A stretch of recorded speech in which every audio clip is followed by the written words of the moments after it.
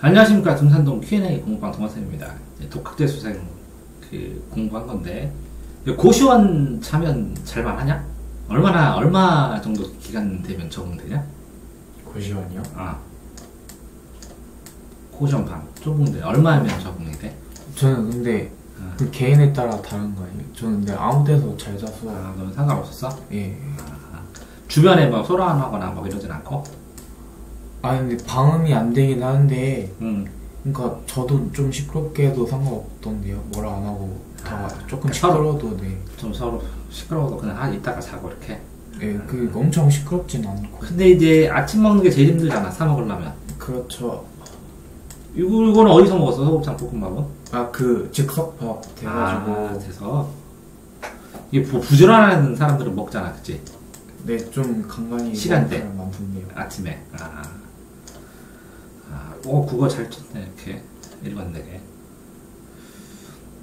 그럼 이게 87, 89, 95, 90, 음, 89, 96, 93년 목표로 풀어. 네, 이거 92. 응? 어, 93년 목표로 풀으라고.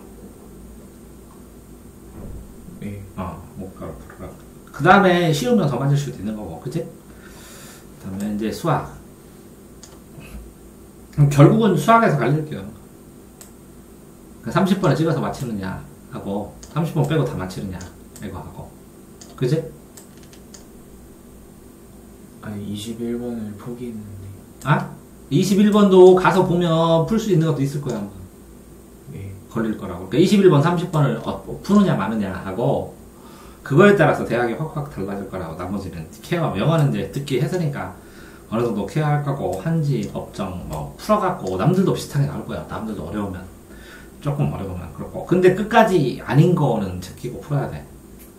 알아봐도 끝까지 알아든 이제 최선을 다해서 찍고 아닌 거를 다음에 풀어야지 어려우면 그지? 모의고사는 이제 듣기는 잘했어. 그 다음에 이제 모의고사 정리하고, 뭐 하고, 별, 별 탈 없이 됐어. 그러니까 이제 잘 나왔을 때랑, 잘 나왔을 때, 최고로 잘 나왔을 때랑, 좀 못 나왔을 때 있을 때, 그러니까 잘 나왔을 때는 어느 정도 나왔을 때로 치면, 그지? 잘 나왔을 때 점수보다 한 개 정도? 여기까지는 클리어 한다고 생각하고, 이거는 잘 찍어갖고 최선을 다해서 찍어보겠다, 이렇게 생각을 해야지. 이해되지? 네. 네? 실수 안 하고 요거를 퍼펙트하게 실수를 안 하고 아는 거를 다 맞추면 요거는 이제 운에 기다리면 운 좋게 되게 잘 찍힐 때가 있거든. 그리고 국어 어려우면 어려우면 어? 뭐한 90점만 선방해도 93점 맞아도 1등급 너끈하게 나온다고 생각하고 근데 하나 더 맞으면 완전히 이게 표준 점수가 달라지니까 내가 말하는 거는 쉬운 거에서 실수만 안 하면 된다는 거야. 아, 저 근데 음, 국어 목표가 음. 딱 87이었는데. 음, 알았어. 그럼 91점 잡든지 91점. 87보다는 더 맞아. 내가 볼 때. 아니, 자꾸 그게 음. 문법에서 음. 하나, 두 개 틀리거든요. 아니 그게 이제 끝에는 그래. 더 헷갈려. 근데 시험 볼 때는 안 그래. 보니까 그렇더라고. 어쨌든 한지하고 다 하고 영어 정의 체크하고 법정 어, 뭐 이게 나중에 가보면 또 그래 풀려 신기하게 그리고 운발이요 내가 모르는 거 뜰 수도 있고 안 본 거 뜰 수도 있고 어, 그러니까 뭐별 신경 쓰지 말라고. 어쨌든 되게 꾸준하게 다 했어. 다. 그러니까 이게 정착이 되니까 이걸 통계되는 거를 뭐라고 안 하는데 안 해도. 왜냐면 일관되게 딱 하니까 거의 변함 없이. 그러니까 뭔가 개선하기 위해서 이게 통계를 내라고 하지만 지금 상황에서는 뭐 안정되게 딱 되니까 뭔가 특별히 개선하고 그럴 게 없기 때문에 뭐 통계 안 내도 상관이 없었지.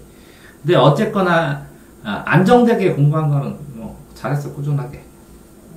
아마 그러니까 만약에 한 100명 재수시키면 아, 100명 아니다. 1000명 시키면 10명 안쪽으로 들어가게 성실하게 한 거야.